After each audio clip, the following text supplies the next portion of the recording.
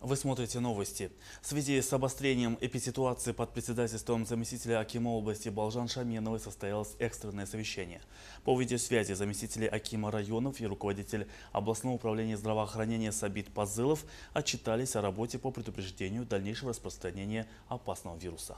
С каждым днем в регионе растет число инфицированных. Если раньше большинство случаев выявлялось в областном центре, сейчас и в районах отмечается прирост. Задача соответствующих структур – контролировать соблюдение карантинных ограничений. Однако контроль осуществляется не на должном уровне. По данным независимых экспертов, в общественных местах меры предосторожности не соблюдаются.